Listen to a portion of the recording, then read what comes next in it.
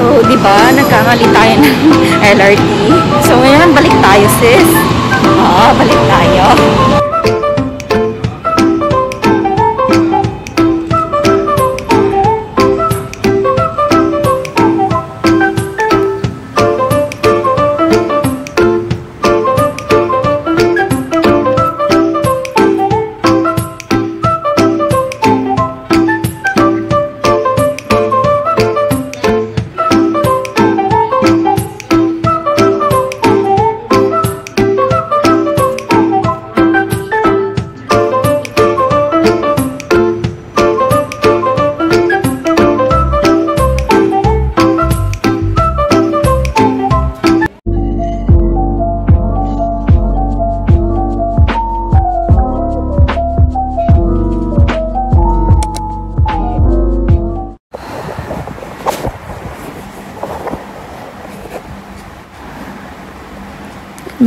Ceci.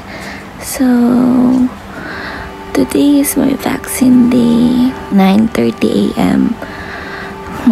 Antok na antok pa ako.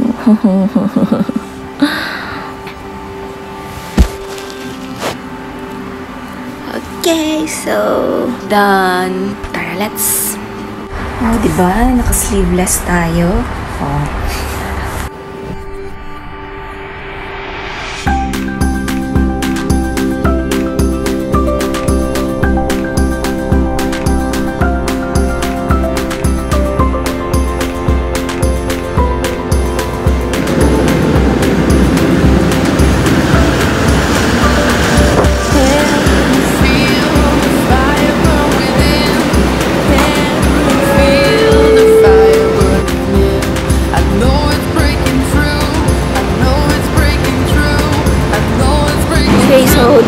nagkamali tayo ng LRT. So, ngayon, balik tayo, sis. Oo, balik tayo. Amazing.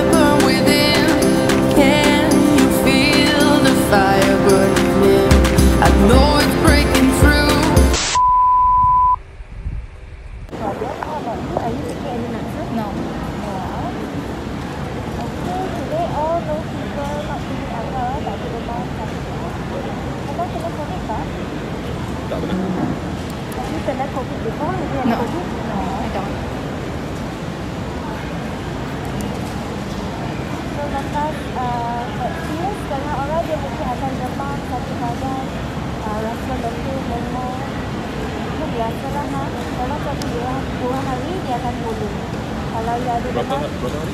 satu dua hari one two days ini If more than that. normally it doesn't matter lah tapi kalau dia semakin teruk so after vaccine some people may develop fever chills body aches fatigue all that you is normal lah after one two days it will subside and resolve Can I take medicine?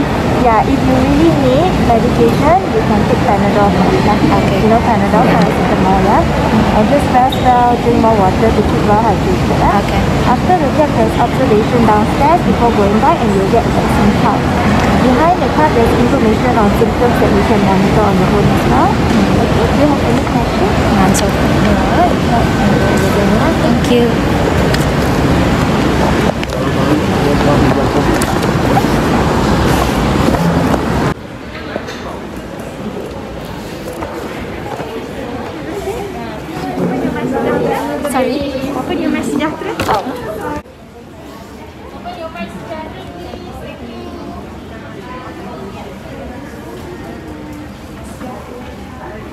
Exact 0.5 eh?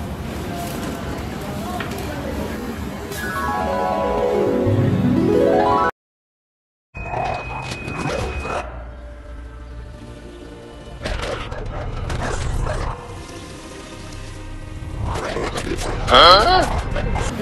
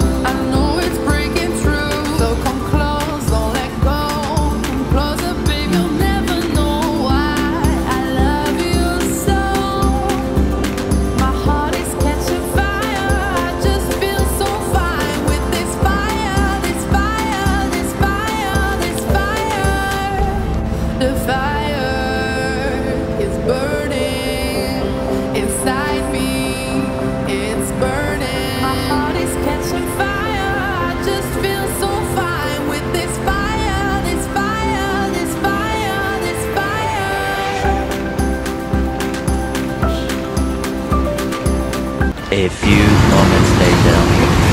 Okay, so we're done for our first dose. At wala pa naman akong nararamdaman so far. Ang ganda, ang ganda ng flow, ang organized at ang bilis. And we're done. See?